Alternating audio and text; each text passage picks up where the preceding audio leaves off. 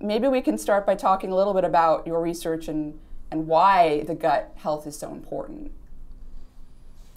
Sure. So, um, you know, the I, I think we became interested in the gut microbiota from the standpoint of just um, kind of basic pioneering research, trying to understand this new microbial organ that we've discovered inside of us that's incredibly important and connected to so many facets of our health. And over the course of the past 10 years or so, there's been this transformation in understanding this community and how fundamental it is. It's not just a quirky part of our biology, it really is holding the key to health of our immune system, our metabolism. Um, there's a brain-gut axis, so it's dictating moods, behavior, perhaps impacting things like autism and neurodegeneration. So there's there's really this profound impact this microbial community has on our on our entire body. Yeah, and just to throw some interesting numbers out there, we're actually 10 by cell number, we actually have 10 times more bacterial cells associated with our body than human cells. And we even have 100 times more bacterial genes associated with our collective genome than human genes. So both by cell number and by gene number, we're actually more microbial than we are human. And so I think the research from our lab and other labs in this area is really redefining how we think of ourselves as human beings. We're not just this collection of human cells. We're, in fact, more like a tube of human cells that houses this incredibly complex and dynamic ecosystem of, of microbes. And what we're finding is that these microbes are wired into pretty much all aspects of our biology. They're really major players in um, many aspects of our health. Yeah, in, in terms of how these you know bacteria in our gut are regulating health, one thing that comes to my mind um, in particular is you know so the, these this bacteria is in our, our gut and most of it is in the, the distal part, so in the colon, mm-hmm. and it just so happens that our GI tract happens to be also large, the uh, largest number of immune cells. I don't think most people if you were to ask them where what organ in the human body has the you know highest concentration of immune cells, people might say the thymus or the spleen, or mm-hmm. no, it's actually the gut. And so that is uh, particularly where I have been interested because there's a very uh, complex interaction between the bacteria in our gut and these and the immune cells in our gut. And you guys have, you know, done a little bit of research on how diet comes into play into that. So yeah, so um, so there are kind of two aspects of that. I think one, you know, it's a little bit daunting to think of these microbes inside of us as dictating so much of our biology. That they actually are, you know, um, holding the reins to some degree on on our immune system, on our metabolism. On the other hand, our diet directly impacts this community. Our research and the research of others has shown this over and over again. And so, really, we hold the reins on what's happening inside our gut by controlling what we eat and aspects of our lifestyle. So um, I think as we gain knowledge about this community, it's possible for us to foster a healthy microbiota to improve our health in many dimensions. Now, the immune system is really interesting because you know the, there's a really delicate balance between our microbiota and our gut um, because living in close proximity are these two entities that um, classically in microbiology were thought not to get along bacteria and the host immune system. And what we realize is that there's this incredible conversation that's continually ongoing in our gut between our immune system and the gut microbes to maintain harmony in most cases, although this can go awry but it's um, so there, there's a delicate balance in, balance in the gut, but also the immune system can leave the gut. Those signals can leave the gut and influence our immune system throughout our body. So really, these microbes in our gut are dictating the set point of our immune system throughout our body. They can Im impact things like respiratory infections, how well we respond to a vaccine, how rapidly uh, autoimmune disease can progress. And so, um, so it's really, I think, you know, this insight that so much of our immune system is in our gut is really profound, and it's important to recognize that this not only impacts what's going on in the gut, but throughout our entire body. Absolutely. So, the food that we put into our body interacts with these these gut bacteria. And if we feed them certain foods or we don't feed them certain foods, this will impact, you know, the immune system in, in the gut and also in the rest of our body.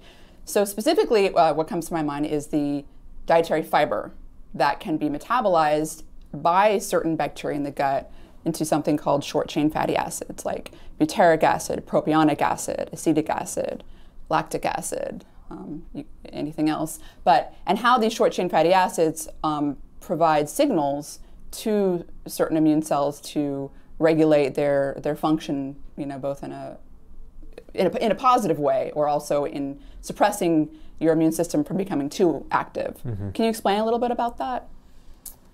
Sure. Well, so the um, you know the dietary fiber we eat is really the key for feeding this gut microbial community, and um, you know, the, the point that the microbes in our digestive tract primarily live at the end of the digestive tract is really important because um, so much of the food that we eat in the Western world is um, laden in simple carbohydrates and fats, and all of those things get absorbed in the upper GI tract and leave our microbes essentially starving. There's no um, complex carbohydrates to feed this community.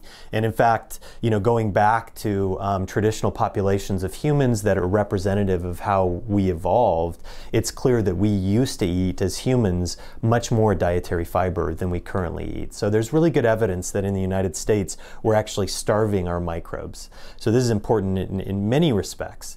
Um, one is that when the microbes receive these dietary carbo carbohydrates, these complex dietary fibers that we eat, they make these compounds like short chain fatty acids. That's their metabolism working.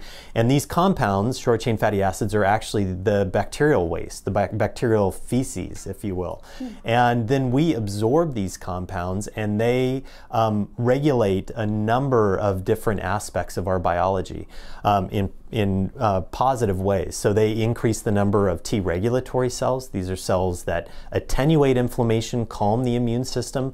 So if you're not eating dietary fiber, it's likely that your immune system is operating in a hyperinflammatory state.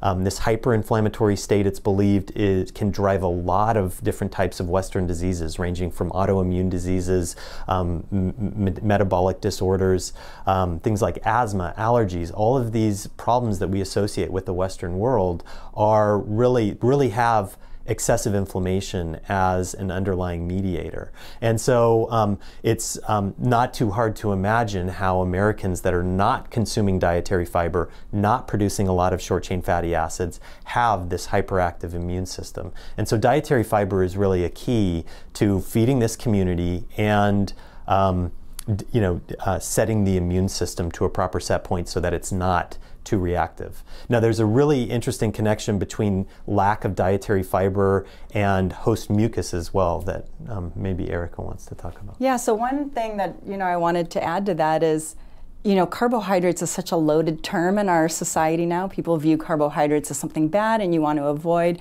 But broadly speaking, there are two types of carbohydrates we need to be aware of.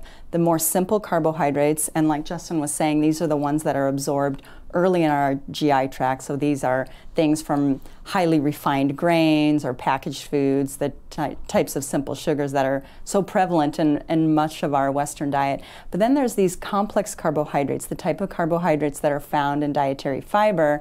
And these are things that you find in whole grains, fruits, and vegetables. And these are the carbohydrates that the human genome is not very good at degrading, so that it actually makes it all the way down to our distal gut, to our colon, and then our microbes in our colon can ferment these complex carbohydrates and then um, produce the short chain fatty acids that you were talking about. And so what we're finding is that when we don't eat enough of these complex carbohydrates found in dietary fiber, these gut bacteria are starving, and so they really are forced to rely on the mucus, the, the carbohydrates that are found in the mucus layer that lines our large intestine. And so as we don't consume enough dietary fiber, these microbes become closer to our mucus lining. They're eating that, that food because that's all they have to eat, and they're inching ever closer to our own epithelial cells. And that creates a situation in which you know the the human aspect of our GI tract and the microbial aspect, that, that fence that keeps them um, separated starts thinning and setting up a scenario where the our immune system now can start overreacting to these microbes encroaching and these microbes potentially get a little more aggressive because they're lacking in, in the food that they require. And then one thing that I just wanted to add, there's a lot of focus on the short chain fatty acids that are this major product of fiber degradation in the um, in by the gut microbiota in the distal gut. Um, but there's a, a, variety of other interesting chemicals that these microbes are producing. Um, that you know, um, bacterial metabolism is something that's really um, not studied well enough. And there's uh, we can think of these um, each bacteria in our gut as a little unsupervised drug factory that's constantly making interesting small molecules and interesting chemicals. Um, we don't know the identity of most of these compounds. We don't know how they affect our biology. They're circulating in all of our blood right now. They're slightly different between me and you, and they change in a single individual over the course of a day. And so understanding how these chemicals are impacting different aspects of our biology is one of the great frontiers of research.